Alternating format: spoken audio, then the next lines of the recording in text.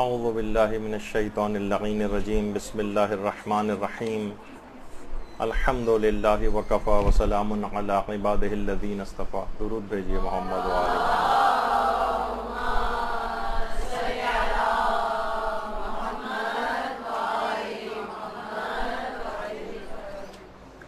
के इंतहाई अहम तरीन और मूरद इब्तला मसाइल के सिलसिले का दर्स नंबर चार कोशिश करेंगे कि आज ये दर्स ख़त्म हो जाए, लेकिन कुछ वक्त जैसे कि शुरू में कुछ इंतज़ामी बातों की वजह से टेक्निकल फॉल्ट की वजह से ज़ाया हुआ तो कहीं एक और दर्स पांचवा भी सिलसिले में ना लेना पड़ जाए। बहरहाल, अब किसी तमहीद की ज़रूरत नहीं है। बर रास्त मसाइल के ऊपर गुफ्तु शुरू करते हैं। एक मसला खुमुस के सिलसिले में वैसे ही एक मसला तकरीबन हर साल बताया जाता ही है, लेकिन मुर्द इब्तला मसला इतना है कि इसको बयान करना ज़रूरी हो जाता है। जहेज़ पर खुमुस यानी वो जहेज़ जो आम तौर पर घर में लड़की वगैरह की शादी के सिलसिले में वालदेन जमा करते हैं। देखिए, जहेज़ पर खुमुस माफ़ है, लेकिन कुछ शर्तें पूरी होती हैं तो माफ़ होता है। उसमें से एक पहली शर्त यह है कि एक साथ शादी के मौके पर उसका खरीदना मुमकिन ना हो। मसन माली हालात ऐसे नहीं हैं कि हम एक साथ खरीद सकें सारी चीज़ें। तो अब रफ्ता रफ्ता करके इसको ख़रीदा जाएगा।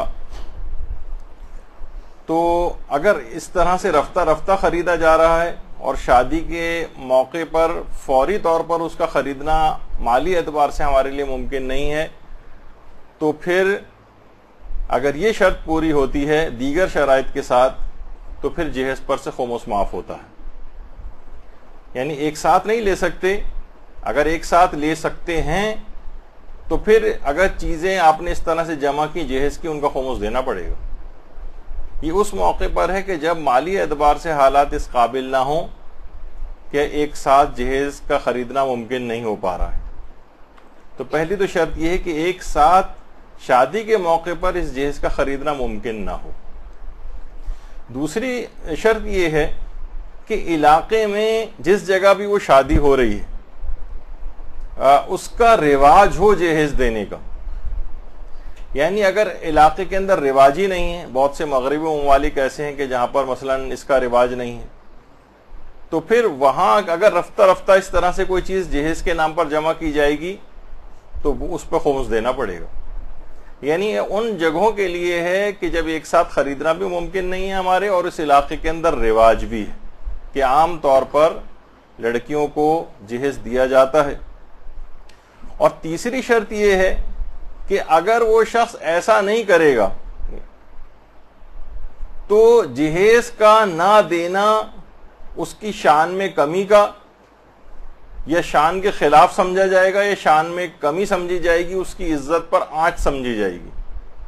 अब जो भी आपका जाती तौर पर नज़रिया हो कि भाई इसमें कौन सा इस्लामी हुक्म तो ऐसा कोई वाजिबात वगैरह का नहीं है लेकिन इस्लाम इसको काउंट करता है अगर इलाके के अंदर। उसको आ, उसका ना देना कमी शान समझा जाता है। लेकिन अगर आप ऐसे इलाके के अंदर हैं कि जहाँ कमी शान नहीं समझा जाता इज़्ज़त पे आँच नहीं समझी जाती तो फिर अगर आपने जहेज के नाम पर चीज़ जमा की तो उसका खोमस देना पड़ेगा। यानी जहेज पर से खोमस उस वक्त माफ़ होगा कि जब एक साथ शादी के मौके पर खरीदना भी मुमकिन नहीं है, माली हालात ऐसे नहीं है, इलाके में उसका रिवाज भी है। और तीसरी चीज़ ये है कि अगर ऐसा ना किया जाए तो ये शान में कमी का या शान के खिलाफ समझा जाएगा, ये शान में कमी समझी जाएगी। या उसकी इज़्ज़त माशरे के अंदर बहुत ख़राब हो जाएगी कि अपनी इसने बेटी को रुख्सत किया और कुछ भी उसको नहीं दिया। ये है। अच्छा चौथी शर्त इसके अंदर ये कि जब माफ़ होता है खोमस, कि जब इससे कोई चीज़ें खरीदी जाएँ, रकम ना सेव करके रखी जाए।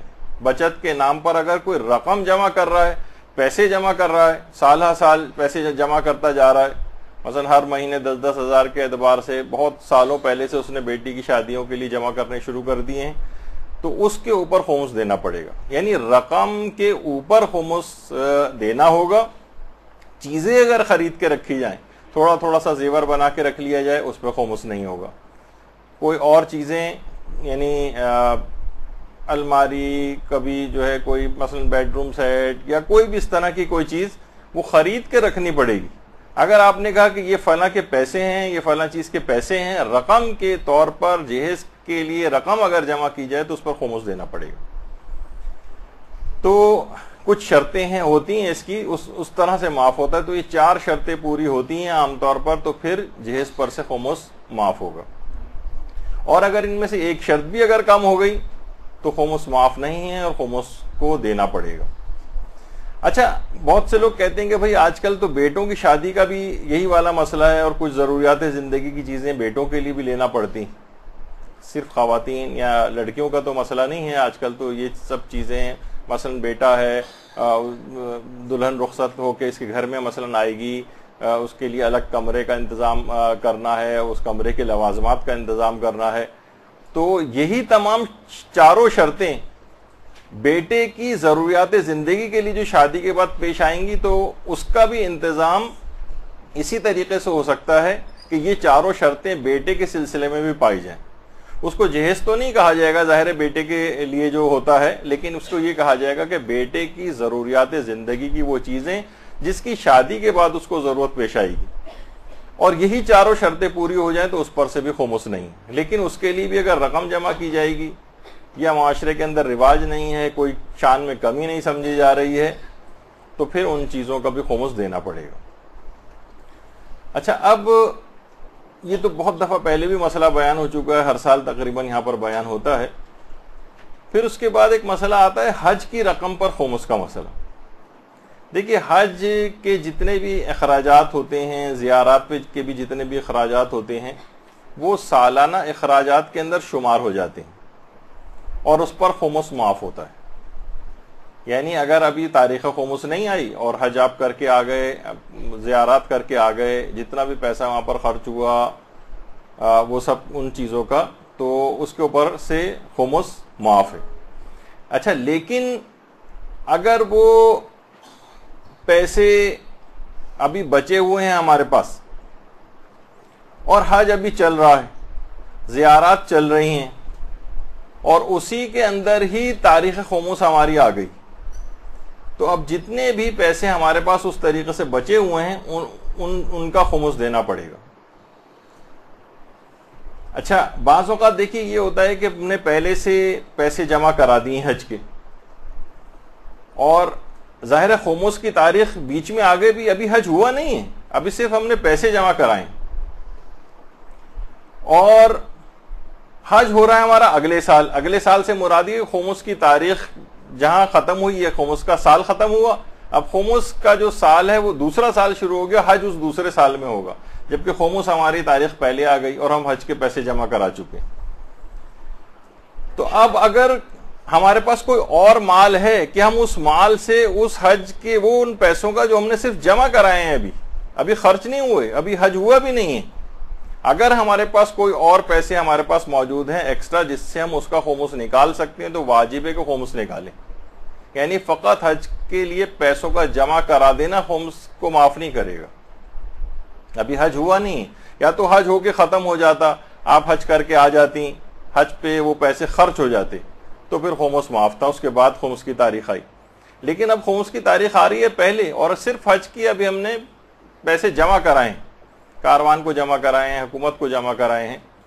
तो बहरहाल उसके अंदर यह है कि अगर आपके पास कोई माल अलग से मौजूद है जिससे उन पैसों को खोमों से निकाला जा सके तो खोमों से निकालना पड़ेगा।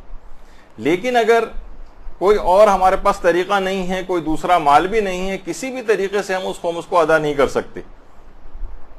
तो फिर आ, इस माल पर से खोमस माफ़ हो, हो जाएगा। यानी फ़िलहाल अब ये होगा यानी अगर आपके लिए मुमकिन है कि किसी और माल से उसका होमस निकाल सकते हैं तो निकालिए। कोई और तरीका अगर नहीं है हमारे पास तो फिर मजबूरी वाला एक मसला आ जाएगा। अच्छा ये भी सिर्फ़ हज वाजिब के लिए है। मुस्तहब हज अगर कोई कर रहा है या मुस्तहबी उम्रे के लिए उसने पैसे जमा कराए हैं तो हर सूरत में उसका होमस देना पड़ेगा। हर सूरत। तो बहरहाल कुछ इसके अंदर अगर जिसको ये इस तरह का कोई मसला है तो वो उलमा से रुजू कर ले और थोड़ी इसमें कुछ ज़मनी मसाइल भी हो सकते हैं। लेकिन मैंने एक बुनियादी तौर पर एक मसला वो आपकी खिदमत में पेश किया। अच्छा इसी तरह से बहुत से अफराद ऐसे होते हैं कि जो, एक तो ये होता है कि घर में बहुत से इस तरह के जानवर उन्होंने पाले हुए होते हैं, अपने उसके शौक के एतबार से, उनकी शान के मुताबिक भी है, कोई बहुत ज़्यादा वैसा कोई महँगा शौक उन्होंने नहीं पाला हुआ है। कुछ लोग घरों के अंदर कीमती पौधों का भी उनको शौक होता है रखने का, और उनको रखते हैं, उनकी हिफाजत करते हैं पले हुए जानवरों के साथ।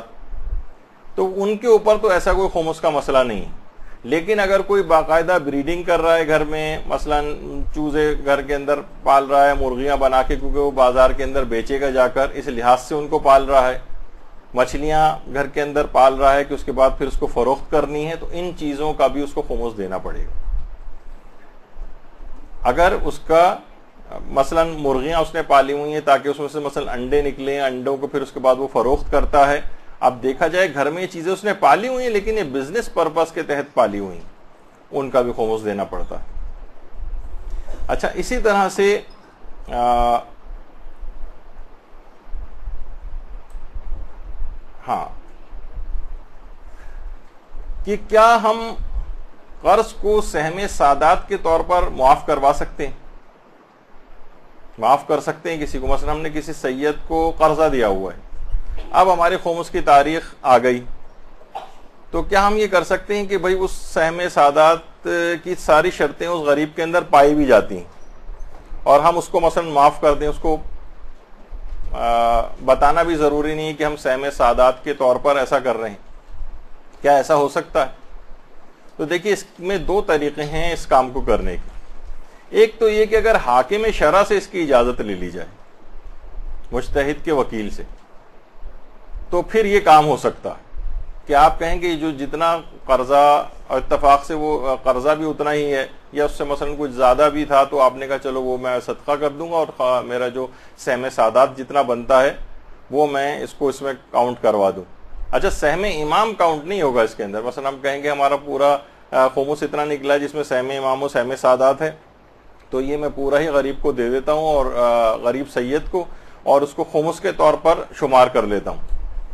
ऐसा नहीं हो सकता। सहम इमाम तो मुश्तहिद या उसके नुमाइंदे को ही पहुंचाना पड़ेगा और सहम सादात जो है, वो या तो हाकिम शरा से इजाज़त ले लें या उस गरीब के वकील के तौर पर उससे इजाज़त लें और फिर उसके बाद उसको माफ़ करें।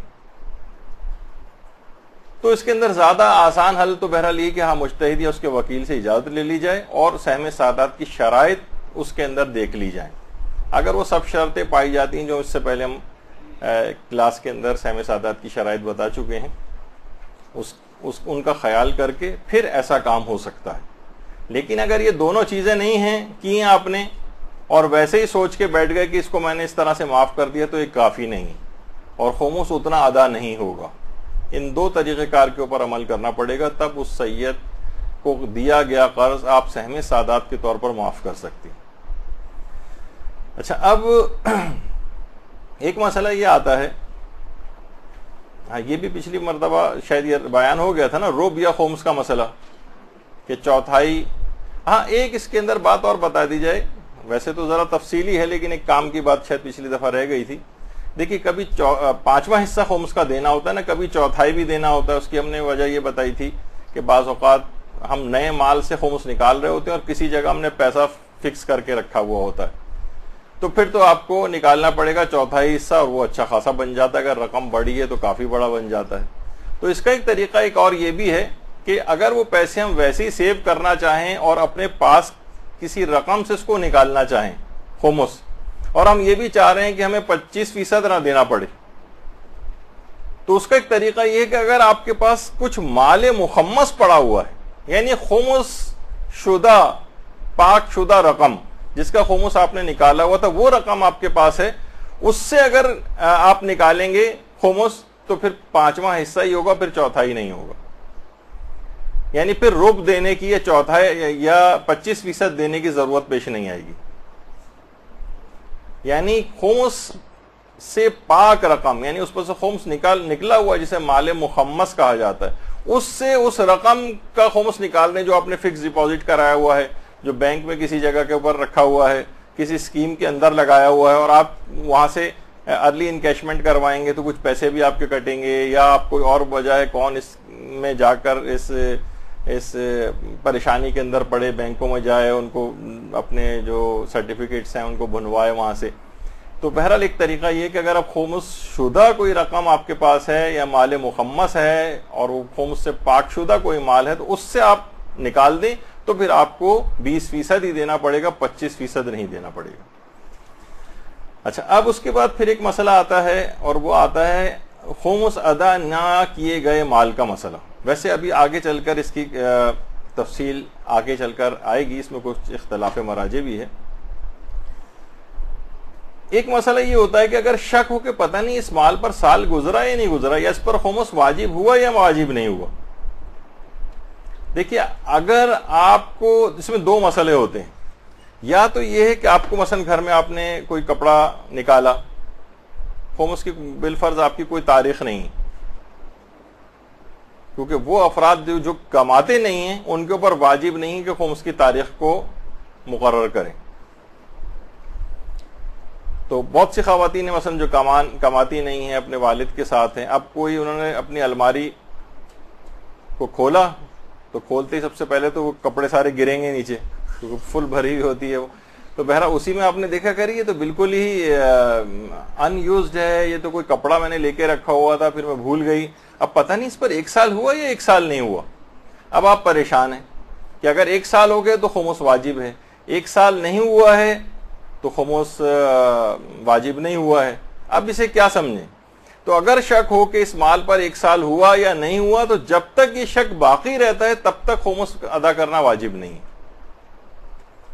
यानी जब तक ये शक आपको रहे, और हो सकता है एक आध महीना और गुजर जाए तो आपको इतमान हो जाए कि नहीं तो फिर अब तो एक साल हो गया होगा, अब इस पर खमोस वाजिब हो जाएगा। लेकिन जब तक वो शक आपका बरकरार रहता है कि इस पर साल पूरा हुआ या साल पूरा नहीं हुआ, तब तक खुमुस अदा करना वाजिब नहीं है। दे सकते लेकिन वाजिब नहीं अच्छा अगर एक तो शक ये होता है, दूसरा शक ये होता है कि खुमुस तो इस पर वाजिब हो गया है, लेकिन कुछ ही अरसे पहले मैंने कुछ अपने हिसाब किताब करके होमस निकाला था, पता नहीं इस चीज़ का होमस निकाला था या नहीं निकाला था। यानी, अगर ये शक हो कि होमस वाजिब हुआ या वाजिब नहीं हुआ तो ये समझेंगे कि वाजिब नहीं हुआ, जब तक कि यकीन ना हो जाए। और अगर ये यकीन हो कि खोमस तो वाजिब हो चुका है। पता नहीं मैंने इस चीज़ पर खोमस निकाला या नहीं निकाला। तो वाजिब है कि उसका खोमस निकाला जाए। चाहे कुछ अरसे बाद आपको पता ही क्यों ना चल जा रहे वो तो मैं पहले निकाल चुकी थी। ये दोबारा मैंने निकाल दिया। तो बस ठीक है, ये दूसरा जो निकाला गया है, ये आपका सदका बन जाएगा, या आपका चैरिटी बन जाएगी, या राय खुदा में दिया गया पैसा बन जाएगा, ज़ाया तो नहीं होगा। लेकिन बहरहाल, आपने अपने फरीज वाजिबी को उस वक्त अदा कर दिया था। यानी अगर खोमस वाजिब होने या ना होने का शक हो तो समझेंगे कि वाजिब नहीं हुआ। और वाजिब हो गया था इसका यकीन है। पता नहीं अदा किया था या नहीं अदा किया था तो फिर अदा करना पड़ेगा। ये एक मसला इसके अंदर आता है।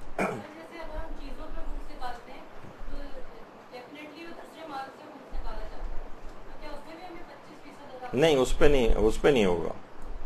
वो एक अलग मसला है। अभी जो मैंने बताया था खासतौर पे बैंक वगैरह का मसला बताया था और उसमें कुछ मसले और भी हैं जो भी आगे चलकर आ रहे हैं। तो उसमें भी आपका मसला हल हो जाएगा लेकिन ये जो आपने अभी पूछा है इसमें 25 फ़ीसद नहीं 20 फ़ीसद ही निकाला जाएगा। जी हाँ नए की बात हो रही थी ना जो अनयूज क्योंकि कपड़ा जो इस्तेमाल हो चुका है तो उस पर क्यों खोमस होगा? उस पर तो खोमस नहीं होता इस्तेमाल शुदा चीज़ पे। अच्छा फिर उसके बाद अगला मसला ये आता है। वो ये है कि एक अरसे तक हमने किसी चीज़ को इस्तेमाल नहीं किया और सालों खोमस नहीं दिया। बाज़ात ये होता है कि खोमस वाजिब था लेकिन सालों नहीं दिया। इस दौरान उस चीज़ की कीमत बढ़ गई। तो अब ज़रूरी है कि असल माल का भी खुमस दिया जाए और उस बढ़ी हुई कीमत का भी दिया जाए। यानी बाज़ात ये होता है कि उस आ, की कीमत अब बढ़ गई और हमने साला साल खुमस अदा नहीं किया।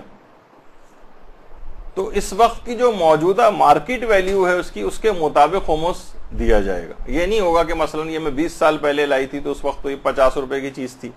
अब वो मसलन 500 की हो गई है तो इसको मौजूदा कीमत का इसमें ख्याल किया जाता। है अच्छा बाज़ अवत ये ज़्यादा होता है मसला, मसलन कोई दुकानदार है, तिजारत का कुछ सामान उसने दुकान के अंदर रखा हुआ है, मसलन एक लाख का माल पड़ा हुआ है उसका दुकान में। उसने होम्स नहीं दिया और साल साल मसलन बहुत सी मशीनों का काम कर रहे होते हैं। साल साल बाज़ात मशीनें इस तरह से तो नहीं बिकती कि रोज़ाना की बुनियाद पर इतनी बिके। तो इस कई साल के अरसे में उसकी कीमत बढ़ गई। मसलन डेढ़ लाख में अब वो फरोख्त हो रहा है वो माल। यानी एक लाख की जिसकी कीमत थी, अब वो डेढ़ लाख हो गई। और वो डेढ़ लाख उसके पास अभी तक है मौजूद। अब वो क्या करेगा कि एक लाख जो ओरिजिनल रकम थी, उसका तो बीस फ़ीसद कितना होगा? आप यानी पांचवा हिस्सा उसका बीस हज़ार होगा। ये तो हो गया असल माल का खोमस। अब पचास हज़ार रुपए उसकी कीमत बढ़ गई। अच्छा उस बढ़ी हुई कीमत का जो है, उसका भी खोमस निकालना पड़ेगा। वो कितना हुआ? दस हज़ार। यानी बीस और दस तीस हज़ार हो गए। अच्छा अब इसमें से उसका जो जाती मुनाफा बनता था होमोस निकालकर, उस पचास हज़ार का। दस हज़ार तो निकल गए, अब उस पचास हज़ार में से कितने बचे? चालीस हज़ार। इस चालीस हज़ार का भी आठ हज़ार होमस और निकालना पड़ेगा, यानी टोटल अड़तीस हज़ार रुपए इसका होमस बनेगा। इस वजह से कि इसने कई सालों तक होमस अदा नहीं किया तो उसकी बढ़ी हुई कीमत का भी होमस होगा और फिर वो जो देखा जाए, जो उसके पास मुनाफा बचा हुआ था, उस पर भी तो कई साल गुजर गए। तो उस मुनाफे का भी खुमस देना पड़ेगा, जो उसका प्योर मुनाफा था। एक तो बढ़ी हुई कीमत का खुमस और उसके बाद फिर वो जो बचा हुआ उसके पास पड़ा रह गया था, उसका भी खुमस तो इस तरह से तकरीबन अड़तीस हज़ार रुपए बन जाएगा, तीस हज़ार रुपए नहीं निकलेगा। तो बाज़ अवत देखिए, ये होता है कि इसके अंदर इतनी पेनल्टी वगैरह टाइप की भी इसके ऊपर लग जाती है और फिर जो बढ़ी हुई कीमतें होती हैं, उसका भी खोस होता है। बाज़ अवत काश्तकारों के साथ भी होता है। मसन काश्तकार थे, वो बीज खरीद कर लेकर आया बोने के लिए और उसने साला साल गुजर गए, मसलन खोमस अदा नहीं किया, उसने बीज बो गए। अब जो फ़सल बोई है तो यही हुक्म उसका फ़सल के ऊपर अप्लाई होगा यानी विद प्रॉफिट तमाम चीज़ों का खोमस निकालना पड़ेगा। तो ये इस तरह से होता है। अच्छा बाज़ अवत ये भी होता है कि हमारे बहुत सारे अमवाल ज़ाया हो जाते हैं। या खर्च हो जाते हैं। देखिए, खुराक पे खर्चा हो गया, आपने इसराफ वगैरह नहीं किया, खुराक पे खर्च हो गया, वो माफ़ है खोमस। इसको या तो खर्च हो गया, या मसलन ज़ाया हो गया। या मसलन किसी को आपने तोहफे दे दिए तहफ़ दिए, इसको भी इस्लाम खर्चा मान लेता है। सदक़ात के अंदर आपने पैसे खर्च किए, लोगों की इमदाद की, गरीब गुरबा को सदक़ात दिए, ये भी इस्लाम खर्चा मान लेता है और उस पर भी खोमस नहीं। मेहमानों की आपने दावतें की हैं, ज़ियाफ़तें की हैं, और उसमें किसी इसराफ वगैरह से काम नहीं लिया, अपनी हैसियत के मुताबिक जितना था उस लिहाज से आपने खर्च किया, उसको भी इस्लाम खर्चा समझ लेता है, खमुस नहीं। इसी तरीके से जितने भी ज़ियाराती सफ़र हैं, चाहे वो हज उम्र का सफ़र हो या मकामात मुकदसा का सफ़र हो, इस पर जितने अखराज होते हैं, वो सब इस्लाम खर्चे में काउंट करता है, कोई खमुस नहीं। इसी तरीके से आप नज़रें मानती हैं कफ़ारे आप पर वाजिब होते हैं, फिदिये आप पर वाजिब होते हैं, कर्ज़ों की आप अदायगी करती हैं, ये सब भी इस्लाम खर्चा मान लेता है। अपनी या अपनी औलाद की शादी में इसराफ अगर ना किया हो और एक अपनी हैसियत के मुताबिक एक शादी की हो, उस पर जितने भी अखराज होते हैं, इस्लाम इसको खर्चा मान लेता है। इसी तरीके से अपनी तालीम के ऊपर जो खर्च हो रहा है या अपनी औलाद की तालीम पर जो खर्च हो रहा है, उसको भी इस्लाम खर्च मान लेता है और उसके ऊपर से भी खोमस मुआफ है। इसी तरीके से कुछ अमवाल ऐसे होते हैं जो तल्फ हो जाते हैं। मसलन माल चोरी हो गया। यूटिलिटी बिल्स के अंदर आपने बिलों की अदायगी कर दी। या बाज़ात ये भी होता है किसी शख्स ने माल पर हमारे कब्जा कर लिया। कोई शख्स है वो प्लॉट पर ऐसा कब्जा करके बैठ गया कि अब वापस मिलने की कोई उम्मीद ही नहीं उससे मसलन। तो जितने भी तलफ शुदा माल हैं ज़ाया शुदा माल हैं, इसको भी इस्लाम खर्चे में शुमार कर लेता है। ऐसा ही जैसे खर्च हो गया, अब इसके ऊपर खुमस नहीं। बशर्ते कि इन तमाम अम्बाल के ऊपर पहले से खुमस वाजिब ना हो। यानी पता चला इस पर पहले से खुमस वाजिब था, उसके बाद चोरी हुआ। अब इसका खोमस देना पड़ेगा आपको, क्योंकि वो तो पहले से ही वाजिब था। हाँ अगर खोमस की तारीख ही नहीं आई थी और वो माल पहले चोरी हो गया या जाया हो गया या टूट गया या जल गया, नुकसान हो गया, तल्फ हो गया, जाया हो गया बिल्कुल, और खुमस की तारीख अभी नहीं आई थी तो अब इस पर खुमस माफ़ है। लेकिन एक मरतबा किसी चीज़ के ऊपर अगर खोमस वाजिब हो जाए, फिर वो जाया हो तो वो खोमस आपकी गर्दन के ऊपर रहता है। और उसका खुमस देना पड़ता। तो ये एक मसला इसमें पेश आता है। अच्छा आप क्योंकि देखिए, खुमस के मसले वैसे अगर आप तोजील मसाइल से पढ़ती हैं ना तो वो उसमें बहुत डिफिकल्टी होती है बाज़ात अपने मसले का हल भी नहीं, वैसे ही नहीं निकलता तो इस वजह से इसको आसान करके छोटे छोटे मसाइल की सूरत में पेश कर रहे हैं। अच्छा अब एक मसला और आता है कि देखिए, पहले आपको मसला बयान हुआ था कि सहम सादात को देने की शराइ में से एक शर्त यह है कि जिसको भी सहम सादात दिए जाए, वो आपका वाजिब नफका नहीं होना चाहिए। मसलन किसी की शोहर की ज़िम्मेदारी है बीवी के अखराज उठाना। अब सैदानी बीवी है उसकी। तो अगर वो काफ़ी गुर्बत वगैरह का कोई मसला है तो क्या वो सैदानी बीवी को सहम सादात दे सकता है? तो इसका जवाब ज़ाहिर है उस असूल के तहत तो है कि नहीं। वाजिब नफका है, उसको कोई अगर ज़रूरत है तो उसकी ज़रूरत तुम पर वाजिब था पूरी करना। जो भी शोहर है उसका। तो तुम जो है वो इमाम के माल से या किसी और के हक को मारकर जो है वो अपनी बीवी को क्यों दे रहे हो तो ये वाजिब तुम पर था। यहाँ तक की हद तक तो मसला सही अलबत् देखिए, कभी कभार ऐसा होता है कि बीवी के कुछ अखराज ऐसे होते हैं जो शोहर पर वाजिब नहीं। हाँ उसको आगे बढ़ के उसकी मदद करनी चाहिए। मसलन मैं उसकी मिसाल दे देता हूँ। हो सकता है कि उस बीवी के पहले शौहर से कुछ बच्चे हों देखिए मसला कहाँ काम आता है? सैदानी बीवी है, पहले शौहर से बच्चे हैं। या तो उस शौहर का इंतकाल हो गया है, या मसलन उसने तलाक दे दी थी और वो बच्चों की निगहदारी करता नहीं है, बस बीवी के जिम्मे छोड़कर चला गया कहीं। उसको मजबूर भी अगर करें तो वो नहीं देगा पैसे उनके, ना खर्चे वगैरह के। अब ये बच्चे इस, जो पहले शोहर के हैं, ये इस औरत की ज़िम्मेदारी के अंदर आ गए। अब देखा जाए इसका जो दूसरा शोहर है, इसके ऊपर तो वाजिब नहीं है कि अपनी बीवी के पहले शोहर के बच्चों के खराजात भी खुद उठाए। अभी वाजिब हराम की हद तक बात हो रही और बीवी को पैसों की शदीद ज़रूरत है, उसका कोई और ज़रिए आमदनी भी नहीं हो अपने बच्चों की स्कूलिंग है और बहुत सारे उनके मसाइल हैं, सेहत के मसले हैं, कपड़े के मसले हैं, गजा के मसले हैं, वो कहाँ से खर्चे पूरे करेगी? तो शौहर, अगर बीवी के पास अपना कोई इतना जाती माल है, फिर तो सहमे सादात उसको नहीं दे सकता। फिर ठीक है, अपने उस माल को बीवी इस्तेमाल करे, कहीं से मीरास में मिला हुआ या कोई और माल उसका पहले से। लेकिन अगर ऐसा नहीं है और बीवी वाकई मजबूर है उसकी तो ये अपने निकाले गए सहमे सादात को अपनी सैदानी बीवी की उन जरूरियात और खर्चों के लिए दे सकता है जो इसके ऊपर वाजिब नहीं अच्छा इस तरह की बहुत सारी और चीज़ें भी आ सकती हैं कि बीवी पर कुछ ऐसे अखराज वाजिब हैं। वाजिब तो नहीं कहा जाएगा, यानी उसकी ज़िम्मेदारी के अंदर खुद ब खुद आ गए।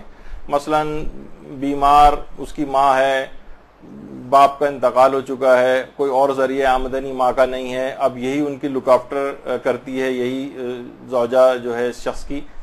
और उसके पास कोई और तरीका भी नहीं है वो कहाँ से पैसों को लेकर आएगी उनकी देखभाल के लिए वगैरह वगैरह इस तरह के बहुत से ऐसे खर्चे हो सकते हैं कि जो इस शख्स पर वाजिब नहीं उठाने लेकिन उसकी बीवी की ज़िम्मेदारी बने, बने हुए हैं। तो फिर ये सहम सादात को उतनी मकदार के अंदर जितनी उसकी ज़रूरत है आ, उसके मुताबिक सहम सादात दे सकता है। तो ये यानी उन खर्चों की बात हो रही है जो इस शख्स पर वाजिब नहीं। जो इस पर वाजिब है वो तो ज़ाहिर खुद ही उठाएगा। उसके मेडिकल के मसाइल जितने भी होते हैं जितने भी तिब्बी और दवाओं का खर्चा और जितने नानो नफ़े के अंदर चीज़ें आती हैं उसमें तो सहम सादात से बीवी के ऊपर खर्च नहीं कर सकता। लेकिन सिर्फ़ उनको खर्च कर सकता है कि जिसके खर्चे इसके ऊपर वाजिब नहीं अच्छा इसी तरह से अक्सर लोग ये सवाल करते हैं कि बहुत सी चीज़ें हैं जो टैक्सेस की मद में गवर्नमेंट काट लेती है। तो क्या ऐसा कर सकते हैं कि हम जो टैक्स हमने अदा किया है, अपने बिज़नेस का टैक्स है, बहुत से टैक्स ऐसे हैं जो आपके खुद यूटिलिटी बिल्स वगैरह के अंदर टैक्सेस लगे होते हैं कितने कितने तो हम उसको अपने खुमुस में हिसाब कर लें। तो ये बात याद रख लीजिए कि जितने भी अदा किए गए इस तरह के टैक्स हैं उनको खुमुस में शुमार नहीं किया जा सकता और खुमुस में से मिना नहीं हो सकते। यानी टैक्स के मामला वो अलग हैं, वो आपको मजबूरन ज़बरदस्ती के तौर पर भी गवर्नमेंट, अगर आप नहीं भी चाहेंगे तो गवर्नमेंट आपसे लेगी।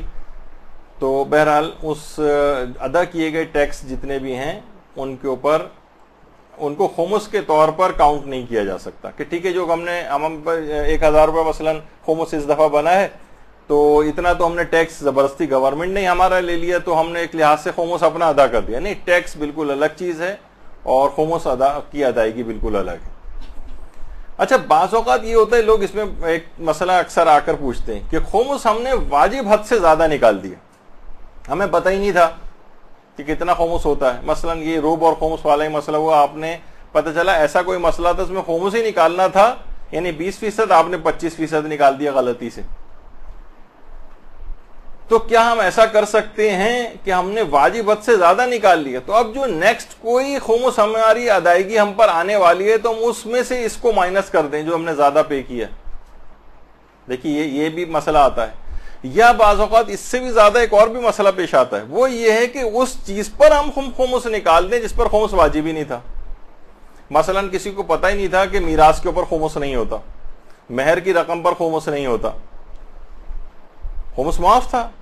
इसको पता ही नहीं था। अब इसने मकान का पूरे का खुमुस निकाल दिया कई लाख।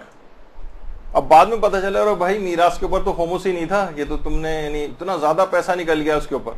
आप सोचें कि आमतौर पर मकानों की यहाँ पे मालियत भी करोड़ों तक पहुँची हुई है तो 20-20 लाख रुपए उस पर खुमुस निकाल दिया उन्होंने। अब ये चाह रहे हैं कि ठीक है, हमें वो पैसा वापस नहीं चाहिए? हम ये चाह रहे हैं कि अगले खुमुस में इसको एडजस्ट कर लिया जाए।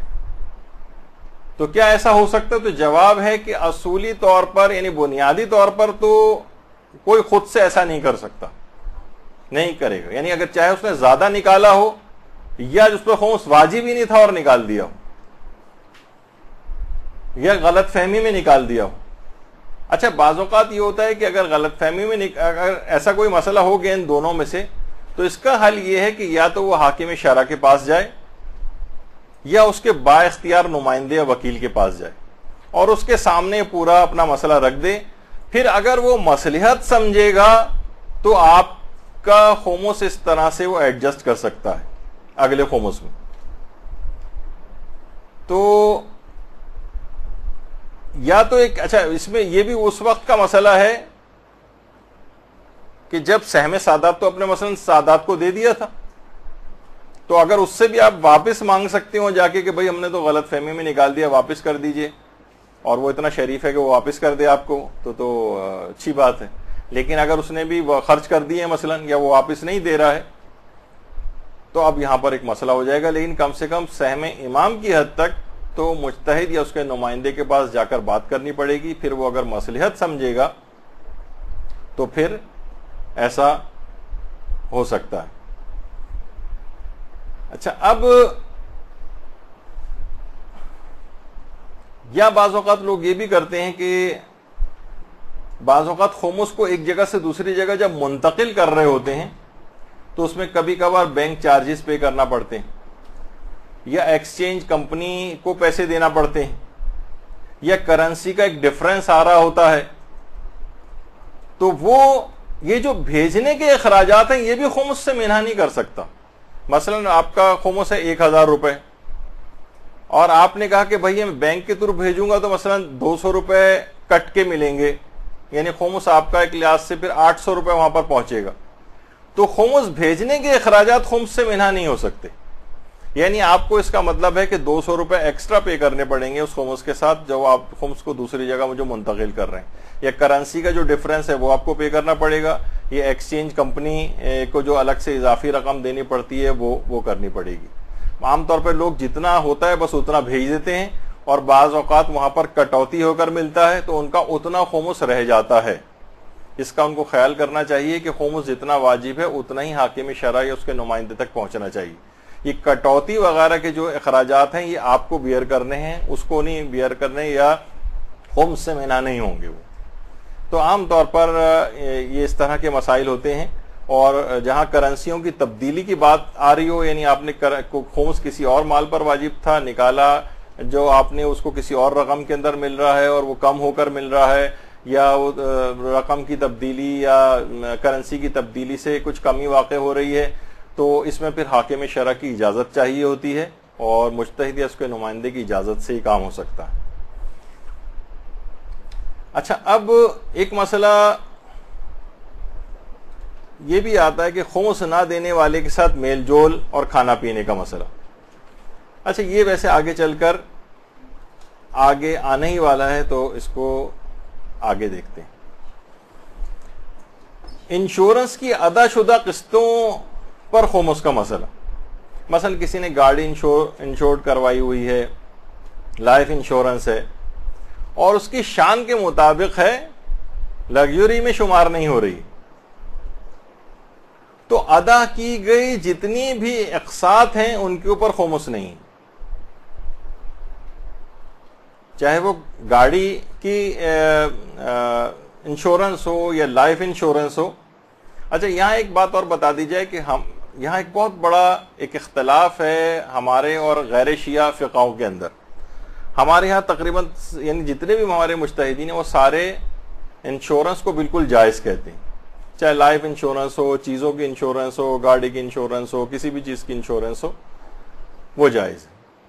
अलबत्ता गैर शिया जो हैं, गैर शिया फ़िका जो पाकिस्तान में और मुख्तलिफ़ ममालिक के अंदर जो प्रैक्टिस होती हैं उनमें से ज़्यादातर का ये नज़रिया ख़ास तौर पर फ़िका है नफ़ी का, कि वो तो इंश्योरेंस को हराम कहती हैं। अलबत् अब उनके यहाँ भी बहुत सारे मकातब फ़िक्र हो गए हैं, कुछ मुख्तलिफ़ तरीक़ों से जायज़ कहते हैं, कुछ हराम कहते हैं, लेकिन बुनियादी मसला एक इख्तलाफी शिया और सुन्नी फ़िकों का ये है। तो बहरहाल वो जितनी अकसात अदा की गई हैं इंश्योरेंस के तौर पर, बीमे के तौर पर, उनके ऊपर खुमस नहीं। अच्छा एक मसला ये भी पेश आता है और आ, अब ये भी काफ़ी तफसीली हो जाएगा। मरहूम की जो लाइफ इंश्योरेंस या बीमा पॉलिसी वगैरह मिलती है वो इंतकाल कर गए हैं। अब उसके बाद जो भी रकम उनकी मिलेगी ये आगा सिस्तानी के फतवे में और आगा खुई के फतवे में इसका खुमुस देना पड़ेगा। यानी बीमा पॉलिसी की जो रकम मिलती है अलबत् अपनी तारीख खुमुस आने के ऊपर या साल पूरा होने के ऊपर। यानी जितने पैसे बच जाएँगे, वो जिसको भी वो बीमा पॉलिसी मिली है, आमतौर पर बीवी को मिलती है, जो भी नॉमिनी होता है उसको मिलती है। और आयतुल्ला खामेना ये फरमाते हैं कि बीमा पॉलिसी की जो रकम इस तरह से मिलती है, वो तोहफे के हुक्म में है, यानी उसके ऊपर से होमोस माफ़ है। तो और आगा सिस्तानी और आका खोई वगैरह, वो ये कहते हैं कि इसका खोमस देना पड़ेगा, जबकि आयतुल्ला खामेना ये फरमाते हैं कि खोमस उसके ऊपर नहीं देना है। अच्छा एक मसला, उससे भी ज़्यादा एक और अहम पेश आता है कि अगर बीवी या शौहर या औलाद एक दूसरे के माल से इजाज़त के बगैर खुमुस निकाल दें। मसलन बीवी आमतौर पर कहती है कि शोहर मसलन हमारा ना खुमुस देता ही नहीं है, ना वो कायल है, बल्कि मना भी करता है। अच्छा वो हमें घर के अखराज के पैसे देता है, हमारे बचत भी हो जाती है। तो हम ये चाहते हैं कि शोहर की क्यों माल ये हराम बने, क्यों ये अजाब के अंदर गिरफ़्तार हो तो हम इसकी तरफ़ से खुमुस निकाल देते हैं। तो अगर ऐसा कोई मसला हो रहा है, या औलाद अपने वालिद की तरफ़ से खोमों से निकाल रही है तो चाहे वो औलाद उसकी रजामंदी के बगैर, एक तो उसकी रजामंदी के बगैर इसके माल को खुमुस के तौर पर नहीं दिया जा सकता। यह हराम भी हो जाएगा। खुमुस के तौर पर भी नहीं दे सकते, क्योंकि वो जिसके माल पर खुमुस वाजिब है, उसकी रजामंदी होनी चाहिए कि मेरे माल से खुमुस निकालो। तो एक लिहाज से गसबी माल शुमार हो जाएगा, और अच्छा कोई दूसरा निकाल दे मसन खुमुस मुझ पर वाजिब है और मेरा कोई और रिश्तेदार खुमुस निकाल रहा है। अपने माल से मेरा, मुझ पर वाजिबुल अदा खुमुस। वो भी बेकार है। वो भी बेकार हो जाएगा क्योंकि उस शख्स का खुद, उसके ऊपर वाजिब था कि इसको अदा कर, या तो उसकी रजामंदी हो कि चलो, ठीक है, मेरे पैसे जो मैं जेब खर्च के लिए तुम्हें देता हूँ, या जेब खर्च तो नहीं, ये घर के खर्चे के लिए मैं तुम्हें देता हूँ। इसमें से जो बचत हो गई, इसमें से खोमस निकाल दो। और वो इजाज़त देते तो खोमस निकाला जा सकता है। लेकिन आम तौर पर केस होता नहीं है ऐसा, और ये होता है कि वो शख्स तैयार नहीं होता है, वो मना कर रहा होता है, और बीवियाँ ये सोच रही होती हैं कि हम क्या करें कि इसका माल भी हराम ना हो, वो दीन की तरफ़ रागिब हो गई, लेकिन शोहर को नहीं समझा पा रही हैं। तो बहरहाल, वो उसका गुना उसके जिम्मे शोहर के रहेगा, और इनका इस तरह से निकाला गया खुमस ही काफ़ी नहीं दूसरे के अमवाल से इजाज़त के बगैर खुमस नहीं निकाला जा सकता, और अपने माल से भी अगर निकाला जा रहा है तो भी बेकार है।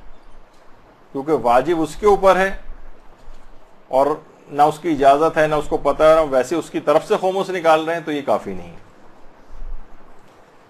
अच्छा एक मसला पिछली मरतब बयान हुआ था कि अगर एक चीज़ है, वो ज़ाती मकसद के लिए भी इस्तेमाल हो रही है, कारोबार में भी इस्तेमाल हो रही है, जैसे गाड़ी की मिसाल दी थी। घर में भी इस्तेमाल होती है और कारोबार में भी इस्तेमाल होती है। तो फिर उसमें यह मसला था कि वो जिस चीज़ में ज़्यादा इस्तेमाल होती है, अगर वो जाती चीज़ों में ज़्यादा इस्तेमाल हो रही है, जाती मकासद में तो उसका खोमस मुआफ है। लेकिन अगर वो कारोबार में ज़्यादा इस्तेमाल हो रही है और जाती चीज़ में बहुत कम इस्तेमाल हो रही है तो फिर उस पर खोमस देना पड़ेगा।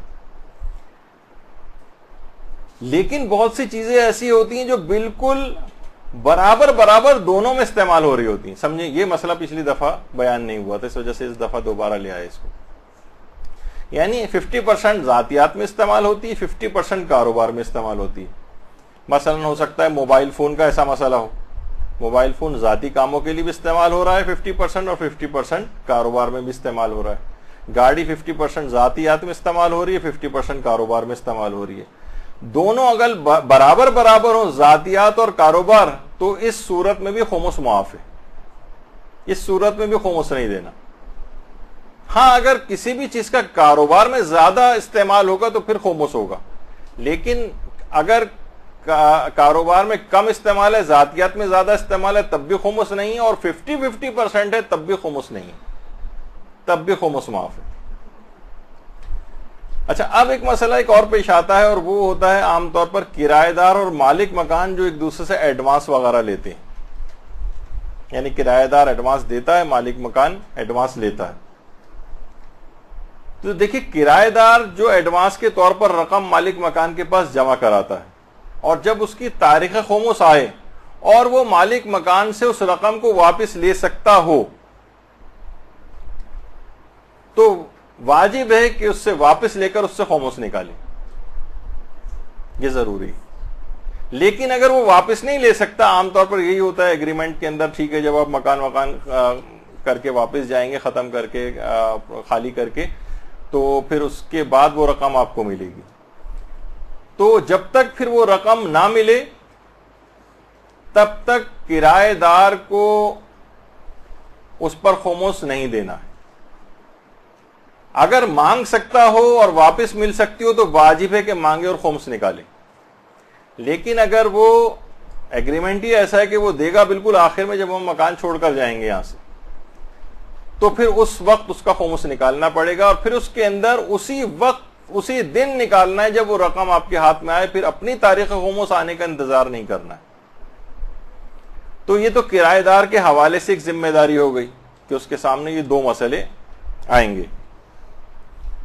कि उसने एडवांस के तौर पर जो रकम जमा कराई है, अगर मांग सकता हो तो मांगे और खोम्स निकाले, और अगर मांग सकता हो और वो वापस ना करे, यानी वो मांग रहा है लेकिन वो वापस नहीं कर रहा है, और होता आमतौर पर ऐसे ही है तो फिर जब भी कभी इसको वो रकम मिलेगी तो फिर उसका ये खोमस निकालेगा। और फ़ौरन निकालेगा।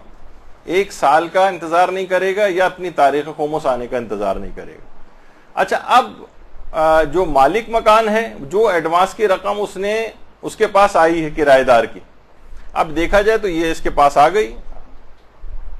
तो ये जो मालिक मकान है, इसके ऊपर बहरहाल उस रकम का खोमस वाजिब नहीं होता यानी कभी भी मालिक मकान को एडवांस की रकम पर खोमस नहीं देना होता है। किराएदार के साथ ये दो मसले पेश आते हैं जो हमने अभी आपकी खिदमत में पेश की अच्छा अच्छा अब अगर कोई शख्स मकान बनाने के लिए रकम जमा करता है, वैसे तो ये पिछली दफ़ा काफ़ी सारा आ गया तो इसके ऊपर तो खोमस देना पड़ेगा। रकम अगर जमा करता है तो खोमस देना पड़ेगा, और उसकी वो तफसील जो पिछले हफ़्ते आ चुकी है, कि वो मटेरियल ख़रीद के रखे, और वो तीन चार शर्तें और उसके साथ बताई थी तो फिर कहीं जाकर खोमस माफ़ होता है। उस रकम पर उसी साल वो उसके अंदर मकान बनने के बाद मुंतकिल भी हो जाए। लेकिन अगर रकम जमा करेगा तो हर सूरत में उसका खोमस उसको देना पड़ेगा। अच्छा इसी तरीके से दीनी तालब इलमों को आमतौर पर शहरिया मिलता है। तो बहरहाल आगा सिस्तानी फरमाते हैं कि तालब इलमों की वो मिल्कियत करार दे दिया जाता है। अगर उस शहरिये में से कुछ बच जाता है दीनी तालब इलमों को, आमतौर पर हौजा इलमिया के अंदर जो शहरिया मिलता है तो आगा सिस्तानी के जो मुकलदीन हैं, उनके लिए वाजिब है कि उसका खोमस निकालें। क्योंकि वो शहरिया दीनी तालब इलमों की मिल्कियत करार दे दिया जाता है। अच्छा अब आ, ये तो आ गया शादी के लिए अगर कोई पैसे जमा करे करे तो ज़ाहिर उस पर खोमस देना पड़ेगा। अगर किसी के पास दो गाड़ियाँ तो ये देखा जाएगा दोनों ज़रूरत की हैं तो दोनों पर से खोमस नहीं। यानी दोनों जाती मकासद के लिए इस्तेमाल हो रही बहुत से अफराद ऐसे होते हैं कि मसला उनकी उनकी उस लिहाज से ज़रूरत होती है और ज़रूरत ये होती है कि मसलन उनको ऑफ़िस जाना है, उसके बाद बच्चों को स्कूल से लाना, ले जाना तो एक गाड़ी और, घर में और मकासद के लिए होती है। तो दोनों गाड़ियाँ क्योंकि ज़रूरत की हैं तो उस लिहाज से दोनों पर से खुमस माफ़ है। लेकिन अगर दो गाड़ियाँ हैं और एक इजाफी है तो जो भी इजाफी है, उसका खुमस देना पड़ेगा। यानी एक ऐसी खड़ी रहती है बस उसकी देखा जाए कोई ज़रूरत नहीं है, बिला वजह चलेंगे कहीं उसकी बैटरी डाउन ना हो जाए तो ज़बरदस्ती उसको चला लिया जाता है थोड़े वक्त के लिए। लेकिन एक लिहाज से वो ज़रूरत से ज़्यादा है तो उसका खुमुस देना पड़ेगा। अच्छा एक मसला ये भी आता है, अक्सर लोग पूछते हैं कि खुमुस की तारीख गुजरने के बाद तनख्वाह हमें मिले। अच्छा लोग ये सोचते हैं क्योंकि खुमुस की तारीख तो गुजर गई, तनख्वाह में मसल मिल रही है पंद्रह दिन के बाद। तो इसमें मैार ये है कि जितने भी यानी जिस दिन आपके खोमस की तारीख थी, उसमें जितने दिन का काम आप कर चुके थे, मसलन पंद्रह रोज तक का तो हम तनख्वाह के हकदार हो चुके थे। और बाकी तारीख खोमस के बाद पंद्रह दिन, यानी क्लास पंद्रह दिन के हम हकदार हो गए थे तो उस पंद्रह दिन की तनख्वाह का खोमस निकालना पड़ेगा।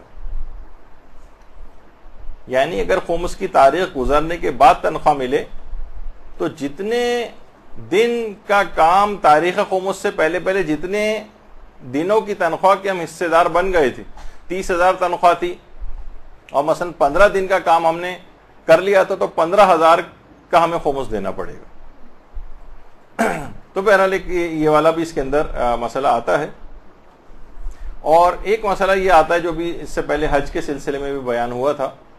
कि अगर एक शख्स है, वो सफ़र में है, उसमें, उसके पास कुर्बानी के भी पैसे हैं, तोहफों के उसने पैसे रखे हुए हैं, जब घर जाऊँगा तो बहुत सारे रिश्तेदारों के लिए लेकर जाऊँगा, हज के दूसरे खराज भी अपने साथ लेके गए और हज की, हज के, उसके दौरान ही खुम्स की तारीख आ जाए।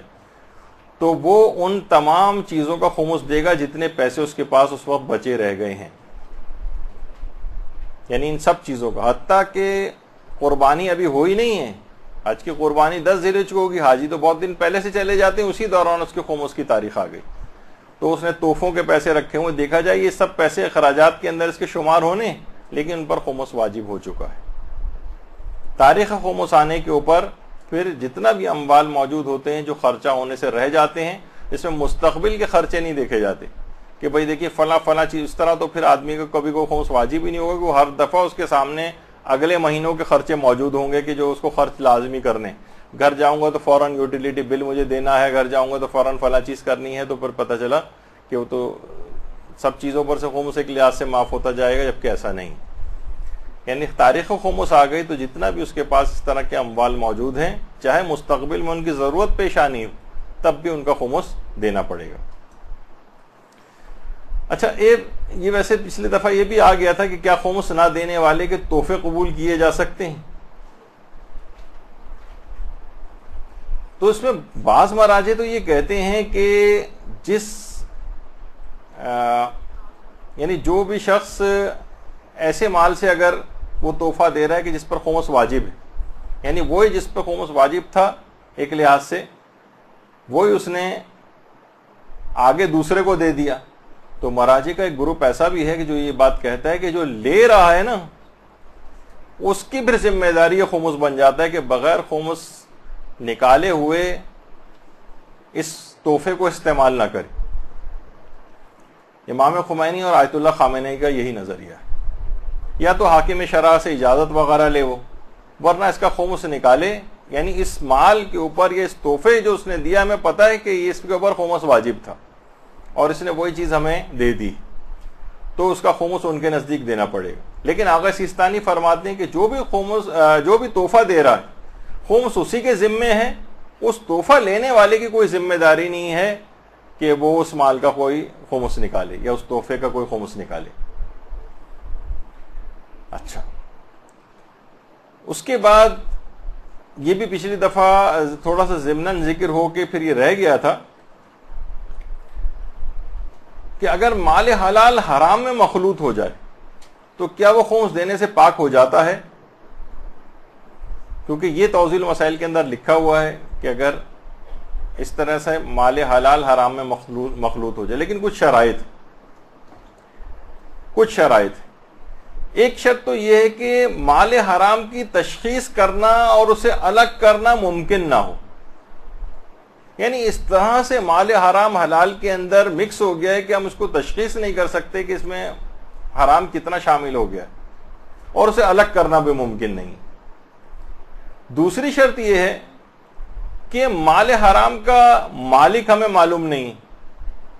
देखिए, पहली शर्त क्या थी कि माल हराम की हमें पता नहीं है, इस तरह से मखलूत हो गया, क्योंकि अगर आपको पता है कि ये हराम है और ये हलाल है तो ठीक है, फिर हराम को अलग कीजिए। और फिर तो आपके वाजे हो जाएगा आपके लिए कि भाई इस पे फिर खोमस वाला मसला लागू नहीं होगा। या उस माल हराम का मालिक मालूम ना हो। अच्छा उसमें भी फिर यही मसला होगा कि अगर मालिक मालूम है तो ठीक है, उसको फिर अलग कर दीजिए। यानी खोमस वाला मसला उस वक्त आता है कि जब माल हलाल हराम में इस तरह से मखलूत हो जाए कि अलग करना मुमकिन ना हो और उसका मालिक भी मालूम ना हो। और तीसरी शर्त यह है कि उस माल हलाल और हराम की मकदार भी हमें पता ना हो। इस तरह से मिक्स हो गया कि अब वो उसकी मकदार भी हमको पता नहीं कितना, क्योंकि अगर मकदार पता है तो हराम को अलग कर दीजिए फिर।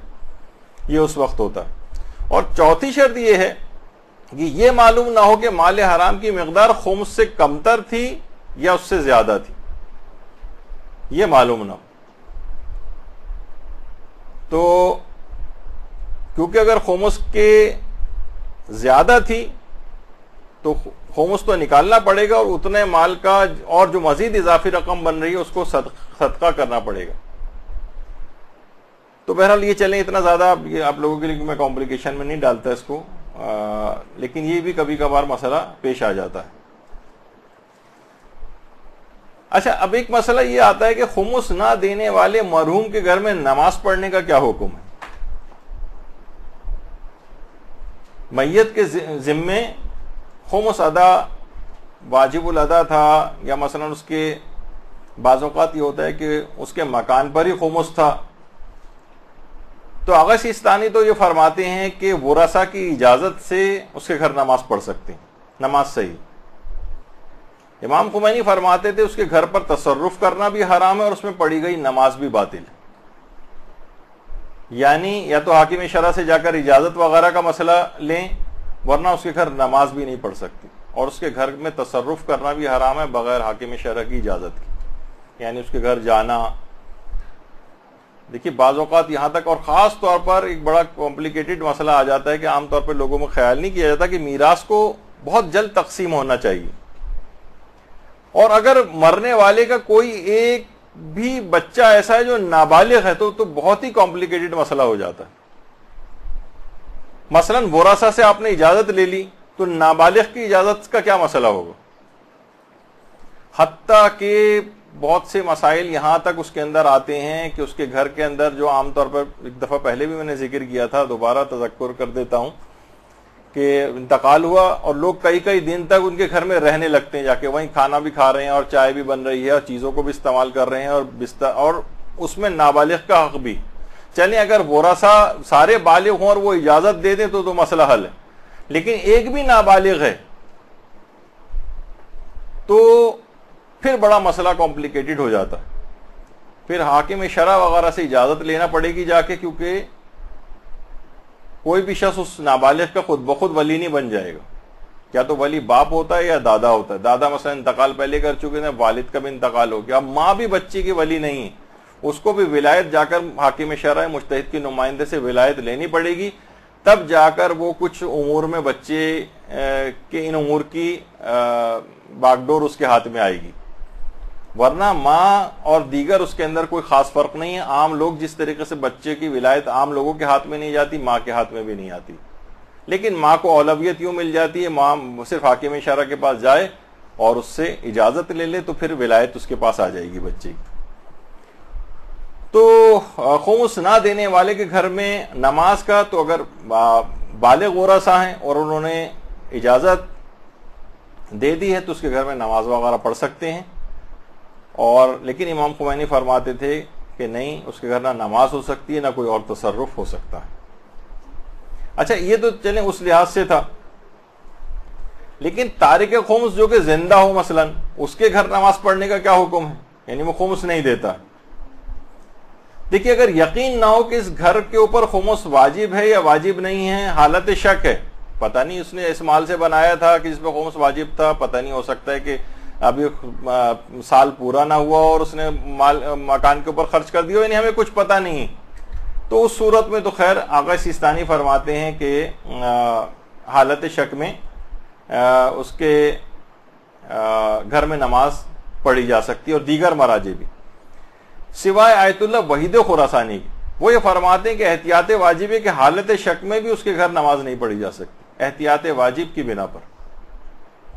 लेकिन बाकी महाराजे कहते हैं, अगर शक है, आपको कुछ पता नहीं कि इसके मकान के ऊपर खुमस वाजिब है या वाजिब नहीं है तो फिर कोई मसला नहीं। अच्छा अगर यकीन है कि इसने इस मकान के ऊपर खुमस वाजिब था और इसने अदा नहीं किया, तब भी आगा इस्तानी फरमाते हैं कि उसके घर नमाज़ पढ़ सकते। तब भी। और बाकी जो मराजे हैं, वो कहते हैं कि हाकिम शरा से इजाज़त ले लें, उसके घर नमाज़ पढ़ने की तब पढ़ सकते हैं, वरना नहीं पढ़ सकते। इसी तरीके से मसलन बहुत सारे अफराद हैं, वो ज़मीन ले लेते हैं वह प्लॉट ले लेते हैं। और उसी प्लॉट के ऊपर उन्होंने मसलन मकान बनाया हुआ है। तो देखिए, इसके अंदर इतना ज़्यादा अहम मसला है ये कि आगा सिस्तानी फरमाते हैं कि जो साहिब ज़मीन है, उसकी तो नमाज़ हर सूरत में बातिल है। यानी जिसने, उसने ऐसा प्लॉट लिया, ज़मीन ली उसका खोमस अदा नहीं किया हुआ था। यानी ऐसे माल से ली थी कि जिस पर खोमस वाजिब था और उसने अदा नहीं किया। या प्लॉट साल भर पड़ा रहा था और उस दौरान उसने मकान ज़ाती ज़रूरत के लिए नहीं बनाया और पढ़ा रहा कई साल इस तरह से। खोमस वाजिब था और उसने अदा नहीं किया। वो फरमाते हैं, साहिब माल की तो नमाज़ बातिल है साहिब ज़मीन की। यानी वो अगर शख्स खुद उसके अंदर नमाज़ पढ़ेगा तो उसकी नमाज़ बातिल है, लेकिन दूसरों की नमाज़ उसके अंदर जायज़ है।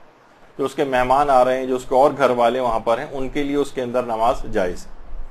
और जो दीगर मुश्तहिदीन है, वो फरमाते हैं कि वही हुक्म है जो कि गसबी ज़मीन का होता है। यानी नमाज़ दूसरों की भी बातिल होगी उसके अंदर, सिवाय इसके कि हाकिम शरा से इजाज़त ले लें अगर। तो आपने देखा कि जहाँ पर इस किस्म के मसले आ रहे हैं, दूसरों के अमवाल पर खमोस के तो आगा सिस्तानी का तो तकरीबन हर जगह यही नज़रिया है कि वो जो, जिसके ऊपर खमोस वाजिब है, उसी की ज़िम्मेदारी गुना भी उसी का है, और उसके सारे अहकाम भी उसी के लिए यानी उसकी अपनी नमाज़ बातिल है, उसका अपना वहाँ पर तसरुफ करना करना हराम है। लेकिन जो मेहमान उसके घर आ रहे हैं, जो रिश्तेदार वहाँ पर रहते हैं, उनका, उनके ऊपर ना कोई गुना है और ना उसका इस्तेमाल उन लोगों के लिए हराम है। अगर उस शख्स की रजामंदी है तो इसके अंदर फिर मसला नहीं। लेकिन दीगर मुश्तिन जो है, वो ये फरमाते हैं कि नहीं ये हाकिम शरा की या तो इजाज़त हो, वरना उस पर तसरुफ जायज़ नहीं होगा और नमाज़ भी सही नहीं। अच्छा अब आ जाइए वो वाला मसला जो उससे पहले था कि तारिक खुमस के साथ मेल जोल का क्या हुक्म? तो देखिए, मेल जोल के एतबार से ये है कि मेल जोल में तो ज़ाहिर कोई हरज नहीं। अलबत्ता अमर बिल मारूफ व नहीं अनिल मुनकर की एक ज़िम्मेदारी रहेगी। अमर बिल मारूफ व नहीं अनिल मुनकर, ये उस शख्स को करते रहना पड़ेगा कि खुमस निकालो, उसको समझाने, बुझाने का काम। अच्छा। अलबत्ता जो खाने पीने वाला जो मसला है, कि उसके घर खाना पीना कैसा है तो आगा सिस्तानी फरमाते हैं कि खाने पीने में भी कोई हरज नहीं है, गजा भी उसके घर खाई जा सकती है। शक की सूरत में भी जायज़ है और यकीन की सूरत में भी जायज़ है। अलबत्ता वो यहाँ पर वही मसला आ जाएगा आयतुल्ला वहीद खुरासानी का, वो कहते हैं कि यकीन की सूरत में भी हराम है और शक की सूरत में तो एहतियात वाजिब की बिना पर हराम यानी ऐसा नहीं जो सारे महाराजे एक ही बात कहते हो, लेकिन बहरहाल आगा सिस्तानी फरमाते हैं कि अगर उस, वो जो गजा उसने सामने लाकर रखी है हमारे तो खाने पीने वाले मसले के अंदर शक की सूरत में भी कि इस गजा के ऊपर खुमस वाजिब था या वाजिब नहीं था? और अगर यकीन भी है कि वाजिब था, उस माल से ये चीज़ लेकर आया, तब भी कहते हैं कि ये आपकी ज़िम्मेदारी नहीं। अच्छा अब हाँ तो अच्छा अब वो जो मेहमान, वो जो जो गजा थी, उसी के ऊपर ही खुमस वाजिब था मसलन। कुछ उसने ऐसी चीज़ें घर में लाकर रखी हुई हैं, मसलन खुश्क मेवे लाकर रखे हुए हैं। और वो काफ़ी अरसे तक चल जाते हैं, तारीख खुमस आई, उसने खुमस नहीं निकाला। और वही चीज़ उसने, बल्कि आपको आके बताया भी कि भाई, ये देखो, इतने महीने से रखे हुए थे और बातों बातों में ये भी बता दिया था कि उसकी खोमस की तारीख आई हुई है। यानी इस पर उसने खोमस नहीं निकाला, ये आपको पक्का यकीन। तो आगा सिस्तानी कहते हैं कि इसको फिर भी इस्तेमाल कर सकते हैं। अलबत्ता ये जो शख्स है, जिस, जिसके ऊपर उन चीज़ों का खोमस वाजिब था, ये जामिन खोमस हो जाएगा। यानी जो इसने खिला दिए मेहमानों को उसका भी खुमस उसको निकालना पड़ेगा। ये जामी नहीं माफ़ नहीं हो जाएगा। जैसे अभी आपने कहा था ना कि मेहमानों के ऊपर जो खर्चा कर दिया जाए, जियाफतों पर जो खर्चा कर दिया जाए, वो माफ़ हो जाता है। तो जिस माल पे पहले से खुमस वाजिब हो चुका है, वो अगर आप खुद से जाया कर दें, तल्फ कर दें, खर्च कर दें, मेहमानों पे खर्च कर दें, तब भी इस्लाम उसको खर्चा नहीं समझता। और ये खुमस ना निकालने वाला उसका जामिन रहेगा और बात खर्चा करने के बाद भी, वो माल के मेहमानों को खिलाने के बाद भी उसकी उतनी मालियत का खुमस उसको निकालना पड़ेगा जो उसने इस तरह से मेहमानों को खिलाया और गुनागार भी होगा क्योंकि अपने वक्त पे उसने खुमस नहीं निकाला। और बाकी महाराजे ये कहते हैं, अगर बिल्कुल उसका पता है कि ये वही वाली चीज़ है तो वो मेहमान भी नहीं खा सकते हैं, सिवाय इसके कि हाकिम शरा से इजाज़त ले लें। ये एक मसला इसमें आता है। अच्छा इसी तरह खुम्स की अदायगी में क्या जिन्स को तब्दील करने की इजाज़त है? मसलन बर्तनों पे खुमस वाजिब था। पूरे साल ऐसे ही पड़े रहे, कुछ सेट वगैरह, अब उन पर खुमस वाजिब हो गया मसलन। तो हमने सोचा कि हमारे पास कुछ फालतू कपड़े भी पड़े हुए जो इस्तेमाल नहीं हुए। तो ऐसा करते हैं बर्तनों की जगह जितना खुमस बनता है, उसकी मालियत के बगैर कपड़े हम खुमस के तौर पे दे देते हैं। तो क्या ऐसा करना जायज़ है? तो जवाब है कि हाकिम शरा की इजाज़त के बगैर रकम के अलावा, यानी रकम में तो ये चल जाता है कि जहर कपड़े पर खुमस है तो आपने पैसे निकाल दिए। लेकिन एक जिन्स के बजाय दूसरी जिन्स में तब्दील कर दें, उस खुमस को ये हाकिम शरा की इजाज़त के बगैर जायज़ नहीं। क्या आपने कहा बर्तनों पे खुमस था तो मैं कपड़े देकर खुमस को अदा कर देती हूँ? उतनी मालियत, बल्कि उससे ज़्यादा भी बर्तन इतनी मालियत का खुमस नहीं थे जितने महँगे मसलन हमारे कपड़े थे। क्योंकि बहुत से अभी इसका मसला भी बयान मैंने नहीं किया, कपड़ों में बहुत सी चीज़ें ऐसी आती हैं कि जो एक दफ़ा भी अगर इस्तेमाल अगर हो गई हैं और फिर उसके बाद हमेशा के लिए उससे बेनियाज हो जाएँ। मसलन शादी, ब्याह में दुल्हन जो आमतौर पर जोड़े इस्तेमाल करती है, उसके बाद आम ज़िंदगी में एक दफ़ा के बाद वो फिर हमेशा के लिए उससे अगर बेनियाज हो जाए तो एहतियात वाजिब के तौर पर अगर सिस्तानी फरमाते हैं, उसका भी खोमस देना पड़ेगा। अब सोच ली कि कितने का आप खरीद के लाई थी, लाख, दो लाख का जितने के भी होते होंगे वो तो उनका खुमस एहतियात वाजिब की बिना पर देना पड़ सकता है। अगर एक दफ़ा इस्तेमाल के बाद हमेशा के लिए उससे बेनियाज हो जाए। और ये बूढ़ी औरतों के उन जेवरात का मसला भी इसके अंदर आ जाता है, जो कि उसके बाद अब उन जेवरात को कभी नहीं पहनेंगी। अभी तो उम्र की उससे हिस्से में आ गई हैं। मसलन शादी के जमाने के जितने उनके जेवरात थे और जिस तरह एक दुल्हन वगैरह पहनती है, अब एक बूढ़ी औरत है सारे, अब इतनी अस्सी साल की उम्र मसलन उसकी हो चुकी है। अब वो पहनेगी भी तो लोग हंसेंगे ना, कभी ज़िंदगी पर उसको पहनेगी हरगिज नहीं पहनेगी तो उसके ऊपर भी इस तरह के खोमस के कुछ मसाइल आ जाते हैं। आज तो मुझे उनके बीच में जिमनन ज़िक्र आ गया कपड़ों के हवाले से तो मैंने इसका ज़िक्र कर दिया कि कभी हो सकता है कि कपड़े ज़्यादा मालियत के हों। लेकिन उसके बावजूद भी ये काफ़ी नहीं है और उस जिन्स की तब्दीली को, यानी जिस जिन्स की जो चीज़ आप निकाल रही थी खुम्स के तौर पर, जैसे बर्तनों को खुम्स निकाल रही थी तो बजाय रकम देने के कपड़ों के ज़रिए आप उसको पूरा नहीं कर सकती हैं, जब तक कि हाकिम शर की इजाज़त ना हो। अच्छा एक मसला ये भी पेश आता है कि खुमुस से नावाकफियत की बिना पर हमने खुद ही हमें पता ही नहीं था कि ये मसलन मुश्तहिद या उनके नुमाइंदे को देना पड़ता है। बहुत सारे लोग ऐसे उनको पता ही नहीं था, उन्होंने इमाम बारगाह की तामीर पे लगा दिया, किसी भी मुस्तक के हाथ में पकड़ा दिया। चाहे वो अपनी जहालत की वजह से किया हो बहरल गुनाह किया, यानी खुम्स, नावाकफियत की बुनियाद पे खुद ही नेक कामों में खर्च कर दिया। मर्ज तकलीद को नहीं दिया, उनके नुमाइंदे को नहीं दिया। तो क्या ऐसा शख्स बरी उस जिम्मा हो सकता है? तो जवाब है कि बरी उस जिम्मा तो असलन नहीं हो सकता। या तो उसे दोबारा खुम्स निकालना पड़ेगा, या फिर हाकिम शरा या उसके नुमाइंदे के पास जाके उसके सामने ये सारी चीज़ रखना पड़ेगी। फिर वो अगर मसलहत समझेगा तो आपको बरी जिम्मा कर सकता है। लेकिन वैसे क्योंकि ये आपको इजाज़त नहीं है कि आप सहम इमाम जो है खुद से किसी हद तक मस्जिद और इमाम बारगाह वगैरह के अंदर भी नहीं दे सकते। हाकिम शरा की इजाज़त होनी चाहिए। और मैंने जिससे पहले भी बताया था कि जैसे लोग कहते हैं कि भाई इससे ज़्यादा अच्छा नेक काम कौन सा होगा? तो इन्हीं नेक कामों के लिए खास तौर पे कहा जाता है। बल्कि अभी कुछ ही अरसे बाद जो एक आपके आज़ादारी वगैरह का जो यहाँ पर एक वर्कशॉप होता है पूरा, मजाली से अज़ा के सिलसिले में और काफ़ी दिन वो कोर्स चलता है। तो उसके अंदर हम फ़िके आज़ादारी के उनवान से भी कुछ हर साल उसके अंदर फ़िकी मसाइल के आज़ादारी के जो फ़िकी मसाइल हैं वो बयान होते हैं। तो उसके अंदर इस दफ़ा एक मसला आना भी था कि आयतुल्ला शेख जब्बात तबरेजी से भी पूछा गया कि हम क्या सैम इमाम को ये कर सकते हैं? हमने खोमूस निकाला और हम आज़ादारी की रसूमात में उसको खर्च करें, मजलिस करवाएँ उस पैसे से। तो उन्होंने कहा कि हर शख्स इस तरह के जितने भी काम हैं चाहे वो मस्जिद बनाना हो, इमाम बारगा बनाना हो, आज़ादारी जैसे अहम तरीन मुस्तहबात में उसको मसन खर्च करना हो, इसमें लोग अपने ज़ाती हलाल माल को खर्च करें। ये इमाम के माल से क्यों खर्च कर रहे हैं? यानी ये एक असलन देखा जाए तो ये आपका पैसा ही नहीं, ये इमाम का पैसा है। उसके दीगर मसारिफ हैं, तबलीगात के अंदर खर्च होता है, माशरे के दीगर उमूर के अंदर खर्च होता है।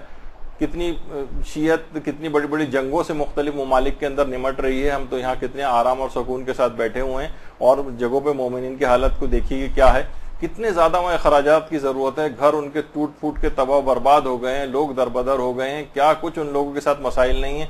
कितने ज़्यादा पैसों की ज़रूरत है मसल तो वो ये कहते हैं कि इन इन उमूर के अंदर इसको ना कि अपनी मस्जिद, इमाम बारगाह और मजलिस अजा तक के लिए आप इमाम के पैसे को खर्च करें, आप अपने जाती माल को खर्च करें।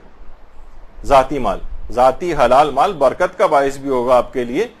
तो बहरहाल इस तरह से अगर खुद से चैरिटी वर्क वो करता रहा हो, कोई और खोमस उसने हाकिम इशारा तक नहीं पहुँचाया है तो या तो उसको दोबारा निकाले, या अगर उसके पास दोबारा निकालने का मौका नहीं है, या उसी को वो कुछ करवाना चाहता है कि ये मेरा दिया गया जो वो होमस है, वो बताए कि इन इन जगहों के ऊपर मैंने खर्च कर दिया लेकिन उस तरह की चीज़ें पे खर्च को शायद वो एक्सेप्ट ना करें। मसलन जैसे मैंने एक दफ़ा बताया था कि मरहूम के इसाले सवाब के लिए किसी जगह क्रिकेट का नाइट मैच रखवाया गया था।